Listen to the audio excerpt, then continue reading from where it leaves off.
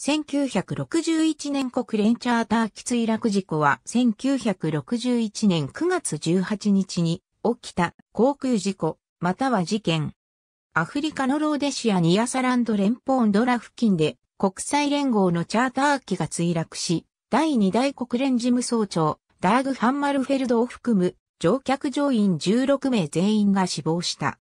この時ハンマルフェルドは、今後動乱の中でカタンガ共和国を建国したモイーズ・チョンベとの停戦交渉に向かう途上にあった。ハンマルフェルドの死により、公認問題が生じ、安全保障理事会にて、ウタントが公認の事務総長に選出された。墜落原因は特定されておらず、パイロットエラー説とハンマルフェルド暗殺を目的とした撃墜説がある。墜落機に類似したスウェーデンの DC-6 1960年代同期は当時存在したチャーター便専門の航空会社であるトランスエアスウェーデンの所有機で乗員込みで国連にチャーターされていた。1961年9月、ハンマルフェルド搭乗機の飛行経路とおとり機の飛行経路1961年9月、今後動乱の最中において戦闘目的ではなかったはずの国連部隊とモイーズ、チョンベを首相とするカタンガ共和国の兵力が交戦に陥ったことを受け、国連事務総長、ダーグ・ハンマルフェルドが停戦交渉に向かおうとしたところ、9月18日、ローデシアニアサランド連邦のドラ付近で蒸気が墜落した。ハンマルフェルドを含む乗客乗員15名が死亡し、1人が重傷を負ったものの助かった。墜落を受けて、ローデシアニアサランド連邦首相、ロイ・ウェレンスキーは、病理医のヒューダグラス・ロスをンドラに送った。ロスは、イギリス空軍のビョーリー・スティーブンスと共に、犠牲者16人全員の遺体を見分した。この中には、事故当初生き延びていたが、重度の火傷を負って一度は、意識を取り戻したものの5日後に死亡した、国連の護衛官1名も含む。ロスとスティーブンスは、その後イギリスに移動し、検視結果をまとめた。後続した調査にて参照された医学的証拠はロスが提出したものである。墜落事件に関して、ロスが作成した資料は現在ダンディ大学が所蔵している。墜落を受けて国連が作成した特別報告によると、1時頃に空で明るい閃光が見え、その知らせに基づいて捜索救助活動が始まった。墜落当初からこれが事故ではない可能性が示されたために以後複数回にわたり調査が実施され、事務総長の暗殺が疑われて今日に至っている。ダーグ・ハンマルフェルド・ハンマルフェルドの死をめぐり、墜落状況について翌年までに3つの公式調査機関が立ち上げられたローデシア民間航空局によるローデシア調査委員会、公聴会を開いたローデシア審問委員会、及び国連調査委員会である。ローデシア調査委員会は、イギリス軍中佐の指揮下で1961年9月19日から同年11月2日まで活動した。ローデシア審問委員会は国連とは独立に1962年1月16日から同月29日にかけて公聴会を開いた。これらの後に続いた国連調査委員会は1962年に一連の公聴会を開いたが、一部は先行した二つの公式調査にて得られた証言に依拠している。国連の調査では5名の著名な人物が事務総長より任命され、その中からネパールの外交官リシケシシャーが全会一致で委員長として選出された。3つの公式調査では墜落原因は特定されなかった。ローデシア調査委員会は墜落原因の物証を求めて180名の人員を投入し、墜落機が辿った飛行経路の終末部分に沿って6平方キロの地域を捜索したが、爆弾や地対空ミサイル、ハイジャックなどの証拠は見つからなかった。公式報告によると死亡したスウェーデン人の護衛官2名の遺体には複数の弾痕があった。これに関しローデシア調査委員会が実施した検視結果が国連調査でも採用されているが、それによると重曹は浅く、銃弾に戦場痕はなかったといい、護衛艦の資金にあった弾倉が火災の中で爆発したものと結論された。墜落機の残骸から何らかの犯行を示唆するような証拠は他には見つからなかった。空で明るい閃光が見えたとの証言は墜落を起こしたとするには時間が遅すぎるとして棄却された。国連報告ではこれらの閃光は墜落後に生じた二次的な爆発ではないかとしている。乗客の中でハンマルフェルドの護衛官だった米国のハロルド・ジュリアン軍曹は墜落で負傷したものの生きて発見された。ジュリアンはドラの病院に収容され、墜落前に空で複数の閃光を見た、または機上で爆発があったと医師らに話した。治療に関わった医師によるとジュリアンは適切な設備のある病院に移送すれば十分助かる容態だったが、そのまま放置され5日後に腎不全で死亡した。公式審問では彼と会話した人々の証言は不整合だとして棄却された。国連報告書は確立された捜索及び救助手順に違反した多くの遅れがあると述べている。三つの個別の遅延があるという。一つ目に航空機が遭難したかもしれないことの初期認識が遅れた。二つ目に該当機が周辺のどの空港にも着陸していないことの確認が遅れ、遭難発生の事実認識が遅延した。三つ目に、ドラ空港からわずか 15km に位置する墜落現場に対する捜索救助活動と残骸の発見自体が遅れた。検視結果はハンマルフェルドの死因を特定できなかった。ある報告は、ハンマルフェルドは墜落時に即死したとしているが、他の報告は救助活動が遅れなければ助かったかもしれないとしている。国連報告はまた、救助を急いでいれば、ジュリアン軍曹が生き延びた可能性は無限に高まっただろうとしている。複数の公式調査で暗殺の証拠は認められなかったが、ハンマルフェルドの死は事故ではなかったとする説は未だに根強く唱えられている。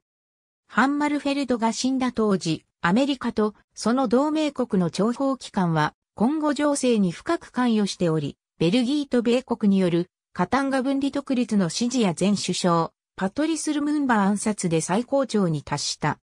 ベルギーとイギリスは今後の同工業利権の大部分を握っており、同国が植民地統治下から独立国に移行するにあたって、既得権益の維持に関心があった。同工業が国有化されうるという懸念は、ルムンバ、またはハンマルフェルドを排除する経済的な動機になったかもしれない。初動調査は、機体の状況や遺体の見分について大半の情報をもたらしたが、そこにイギリス軍将校が関わっていた点について利益相反の指摘がある。公式報告は、ハンマルフェルドの暗殺説を支持し得る多数の証拠を棄却したが、そうした棄却行為の一部は論争を呼んでいる。例えば、一部の者の遺体に見られた重曹は、火災で暴発した銃弾によるものだろうと結論されたが、専門家はこれを強く疑問視し、暴発した銃弾では皮膚を貫通できないとしている。弾道学の権威であるシーカイ・ウェステル少佐によれば、機関銃や拳銃の弾倉が火中で暴発したことによって飛び出た弾丸が人体を貫徹可能だなどという主張は全くの論外だと断言できる。彼の見解は、軍の消防隊が弾薬集積所付近で行動する場合の危険有無を評価する目的で実施された大規模実験の結果に基づいている。スウェーデンの他の専門家が実験し撮影した結果では、銃弾を暴発するまで加熱しても、弾倉を突き破って出るほどの初速は得られなかった。当時エチオピア駐在のイギリス大使だったデニス・ライトは、1961年の年次報告の中でハンマルフェルドの死とイギリスの関連を示唆している。当時、今後の国連部隊に加わる兵員を乗せたエチオピアの輸送機がエンテベ経由でイギリス統治下のウガンダ上空を越えようとしていたが、イギリスはこれを拒否した。ところがハンマルフェルドが死去すると通過は許可されたという。この報告を見た、ある外務省職員は、イギリスの戸棚に骸骨など入っていないとして、年次報告の最終版では、大使のこのコメントを削除すべきだと書き残している。1998年8月19日、南アフリカの真実和会委員会議長であるデズモンド・ツツ大司教は、新たに明るみに出た文書から、墜落事件に対するイギリスの見後、米国 CIA 及び南アフリカの諜報機関の関与が示唆されたと述べた。TRC が公表したある文書は、機体が着地した際に爆発する、要膠着装置の収納部に爆発物が仕掛けられたとしている。筒は TRC にはそれらの文書及び南アフリカや西側の情報機関が墜落に関わったとする説の真偽を操作する能力はないと述べた。イギリスの外務、英連邦省はそれらはソ連による誤報や偽情報ではないかとしている。2005年7月28日、ハンマルフェルドの生誕100周年に際し、彼の死に関してノルウェーのアフテンポス天使が、ノルウェー軍人のビオルニ・エッケ少将に取材した記事が掲載された。エッケは国連将校として最初に墜落現場に到着し病院で遺体を見たことで知られる。それによると、ハンマルフェルドの遺体は他と違って焼けておらず、額に丸い穴が開いていた。後の写真では画像が加工されその穴は消され、自己報告書からは検視結果が除外されていた。エッケは、そのような操作がなされた理由を長年疑問に思っていたという。墜落現場は、ウンドラ空港から 15km の位置だったにも、かかわらず、捜索救助活動は半日以上経ってから始まったことも彼には疑問だった。エッケの見解では、ハンマルフェルドは、機体から投げ出され、手の中に草や葉を握っていたことから、生き延びて残骸から避難したのではないかという。エッケは、額の傷が弾痕だったと直接主張してはいない。2009年9月23日、第64回国連総会における演説の中で、リビアのカダフィ大佐は、同国出身のあり、トレキ国連総会議長に対し、今後共和国を1960年に追放され、翌年死去したパトリス・ルムンバ首相と1961年の国連事務総長ダーグ・ハンマルフェルドの死について国連として調査機関を設立するよう要請した。スウェーデン人でアフリカに拠点を置く開発援助機関に勤めるゴラン・ビョルクダールは個人的な関心から2000年代に現地住民の目撃者12名に聞き取り調査を行った。それらの証言はハンマルフェルドの蒸気が別の飛行機に撃墜されたという点で一致している。内和人は墜落後の朝5時に現場近くの炭焼き用に行ったところ、白人兵士の一団が現場を封鎖して住民を追い散らしているのを見たが、救助隊が現場に到着したとされる公式の時刻は同日午後3時である。ビョルクダールは以前は閲覧不可だった文書や国連内部の通信記録を調べ、事件がユニオンミニエールなどの工業会社の利権誤字を目的とした意図的な撃墜だったと結論した。事件当時キプロスの電子情報施設に配属されていたある米軍将校はドラで交わされた机上通信を傍受したという。その中では、あるパイロットがハンマルフェルドが乗った DC-6 に接近すると話しており、射撃音に続いて命中したとの言葉が聞こえた。2013年9月、イギリスの法律家、ステファン・セドリー率いる独立の調査委員会は近年明るみに出た情報について調査結果を公表し、再調査に値する根拠があるとして、1962年10月26日の国連総会決議1759にのっとって国連は審問を再開すべきと勧告した。この委員会の行動のきっかけとなったのは、スーザン・ウィリアムスが著書、誰がハンマルフェルドを殺したかを出版し、新証拠の集積状況を示したことである。2014年4月、ガーディアンはハンマルフェルドを撃墜したのは、カタンガ空軍のベルギー人傭兵ジャンバン・リッセゲムだと示唆する記事を掲載した。リッセゲムは第二次大戦では英国空軍に所属し、戦後ベルギー空軍に勤めた後、カタンガ共和国空軍で、モイーズ・チョンベのパイロットとして知られた。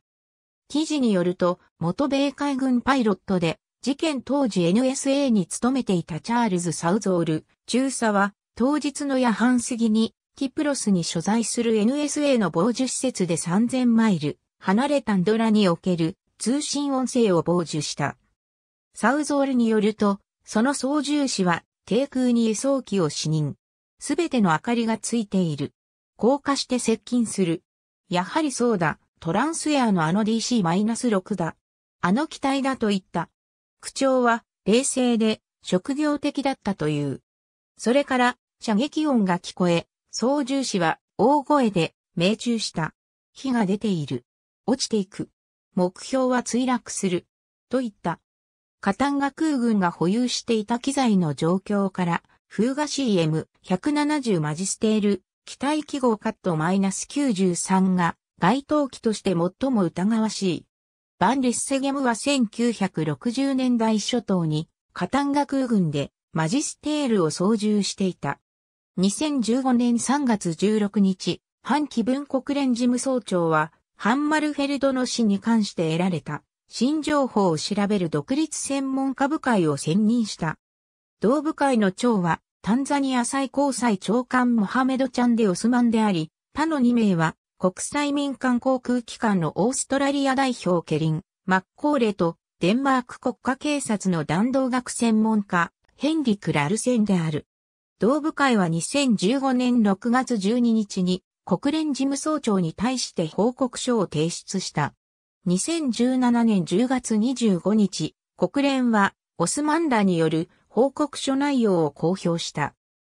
その中で、オスマンは、かつての公式報告におけるパイロットエラー等による自己説に否定的な見解を示し、外部からの直接攻撃、または何らかの干渉による墜落を示唆して事態を解明する責任は国連加盟の関係各国が公開、非公開を問わず押収、または作成した資料における関連情報の再精査を完了することにかかっていると述べた。